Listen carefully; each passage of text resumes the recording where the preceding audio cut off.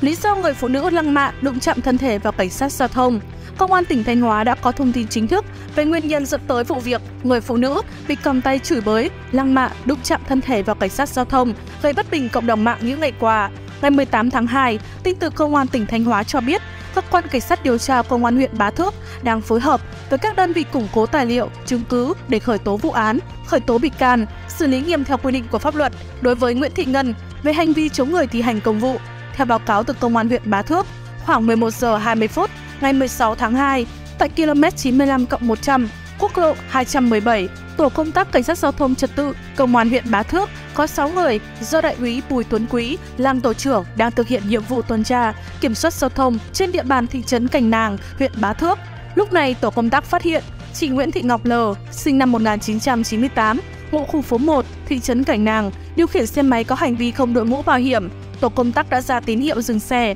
thông báo cho chị L biết lỗi vi phạm và tiến hành lập biên bản vi phạm hành chính theo quy định. Trong lúc đang lập biên bản, bất ngờ Nguyễn Thị Ngân, tên thường gọi là Ngân Gà, sinh năm 1979 ở khu phố 1, thị trấn Cành Nàng, là mẹ chồng của chị L đến xin tổ công tác không lập biên bản vi phạm hành chính đối với L